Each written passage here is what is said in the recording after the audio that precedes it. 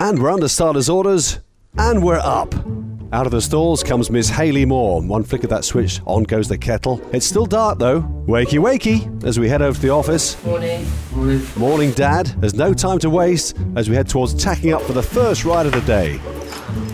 Saddle on, and the hat still fits. And just like that, we're off. Straight out into the morning rain. Lovely. Here she comes, and there she goes. Meow. Today's conditions on the soft side, and back at the yard, a quick scratch and a bath. Pretty steamy times for him. Back to bed and a quick roll before lunch. But there's no rest for Hayley. She's off racing.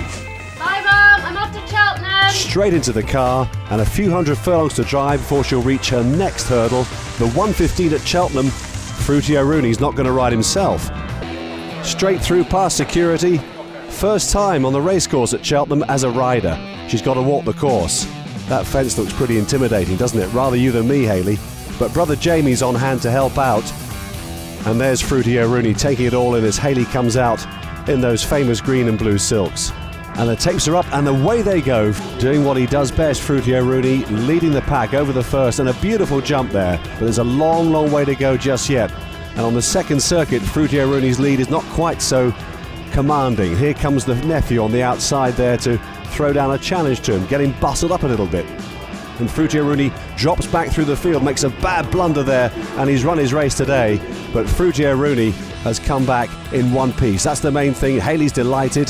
That's what racing's all about, and a deserved drink at the end of his efforts. I'm Mike Cattermole, and your jockey today was Miss Hayley Moore. Text IJF to 70800 to donate £5 to the Injured Jockeys Fund. National Jockey Day, Saturday, 22nd of November.